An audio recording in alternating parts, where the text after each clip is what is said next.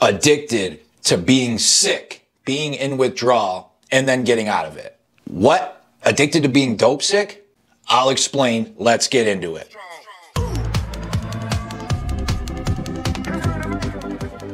K-Ruggs, the sober dog here.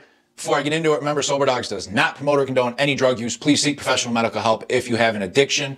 Also, thank you everybody. If you want to support us, check out the description, Patreon, shirts, everything. Soberdogs, yeah. Or just share, like the video, subscribe. It's the best way you can help support the channel. Thank you everybody. I'm to tell you a story too at the end that proves this point of being addicted to being dope sick and then addicted to getting better from that it's gross, but it proves the point. People are probably saying, okay, some people have no idea when I first explained this who would possibly be addicted or want the feeling of being dope sick. And I totally get that. It sounds insane to a, a you know, an outside observer who's never been there. Here's what it is. There is this weird and random I don't know, phenomenon is the word that comes to mind. I don't know if that's accurate, but that a lot of people in addiction, like myself included, when you get sick, dope sick, and if you don't know all the details about that, I'll put a card up for the other videos on dope sick. Basically, that full body flu times 10. That's how I always describe it, and it's so accurate. Sweats, chills, diarrhea, vomiting, bones ache, muscles ache, anything feels impossible to just go 10 feet. Oh, it's brutal. So we get in that stage, people that, you know, are inactive addiction, specifically opioids, heroin, oxy, any of those, fentanyl. And until you either get your next dose or uh, MAT med like Suboxone or Methadone, or you wait it out seven to 10 days, you're to be sick. Now, after the last dose of any of those substances, within six to eight hours, dope sickness is starting. You know, occasionally it would be 16 hours if it was a really potent batch or if it had legs, they call it. You know, it had legs that lasted long, long spider legs. But uh, most of the time, eight to 10 hours after your last batch, it's starting to come on. And if you don't get something new, it is going to get progressively worse every hour for the next day or so. And it's going to be at its peak for three to four days, and then it'll slowly start getting better every hour for the next two or three days. But during it, oh my God. So, what ends up happening to a lot of us addicts in that time is you're in the middle of addiction, you get high, then eight hours, maybe you get high at, at 11 p.m. So now you go to bed at whatever time and you get up at seven, eight, nine in the morning and you're starting to be dope sick. You're, you're, it's already started and you're getting worse. If you don't have anything to do right there, it's just going to keep getting worse. If you go out and do something, all of a sudden everything goes away. That feeling is what exactly I'm talking about. You have sweats, chills, vomit, diarrhea, your whole body. The middle of summer, I got a full hoodie on, I got sweatpants on, I got a winter coat on. I am freezing, I'm hot, I'm cold, and I'm hot, and I'm cold, and I can't focus, and my mouth's dry, and, and my nose is just running, and I'm yawning. The second any opioid I do, it is gone. Imagine having a terrible flu, and you could just you know, take this one thing and within five seconds, all your symptoms are gone. And not only are, here's the, the problem. So when you're in that, here's baseline of normal life. When you're in that dope sickness, you're way down. You feel terrible. You're a negative 10. If you do something, you don't go back up to baseline. You go up above it. That is what is so addicting about this feeling, and so I said addicted to being dope sick. There were times when I would wake up sick and then I would go get something and I'd go back to my house and I'd have it. I would literally not do it, waiting for the dope sickness to get worse and worse and worse. Hours go by, and then when it's really bad, I would do it because it was so addicting to just be sitting there like, I don't know how to describe it, just this insane state where like I can't move. I, I am dripping sweat. Like if you ask me to walk to the kitchen, it felt like, uh, you, you know, I got to do a marathon.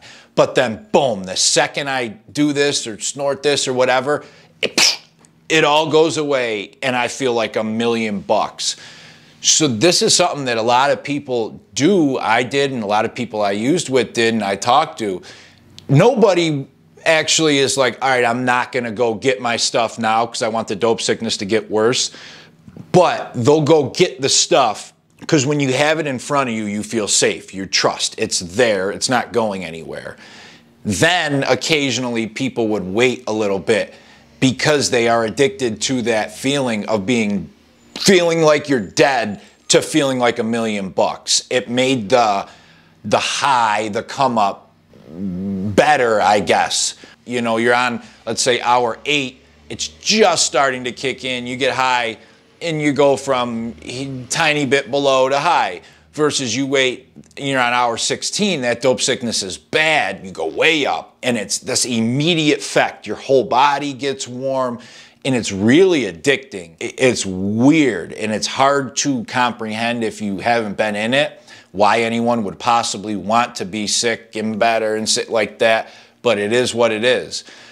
Now, I told you I'm going to tell you a story about it. I was going one day. There's also a phenomenon of you could be dope sick out of your mind.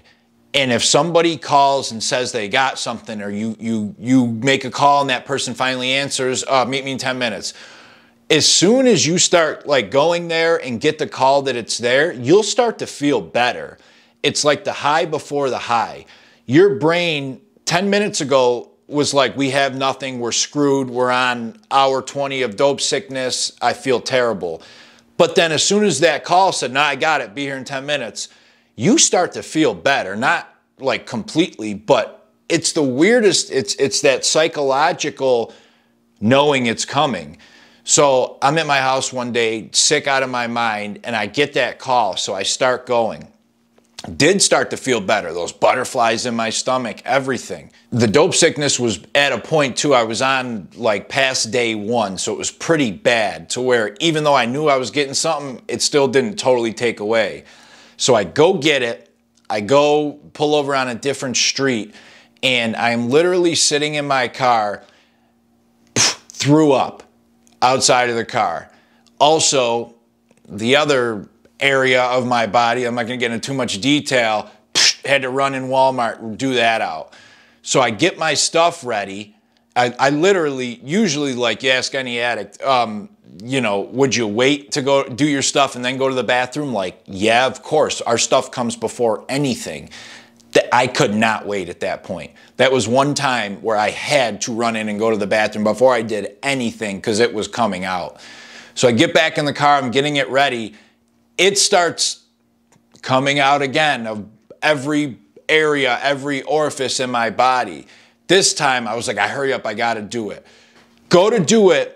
It was the weirdest thing. I did it, and it was like everything got sucked back in, as weird as that sounds. Instantly did not have to go to the bathroom, instantly did not have to throw up. The sweats gone, immediate body temperature rise. Now I am no longer cold, no longer chills.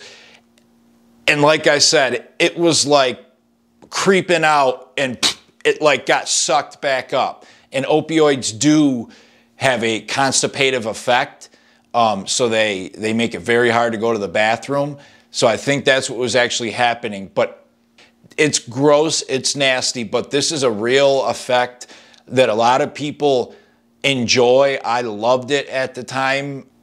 Again, I wouldn't like actively seek it if it was like, here, there's the stuff. I'm going to get the stuff. That's most important. But if I had the ability with the stuff in front of me to wait a little bit to do it until I felt like crap. It was just this this psychological feeling of being at the lowest of lows and going to the highest of highs and people chase that and like that and want that and it's weird that's what addicted to being dope sick is all right check out the other video all about the real truth about being dope sick and the stuff nobody talks about or wants to know about because it's the part that sucks, but it's what we need to talk about.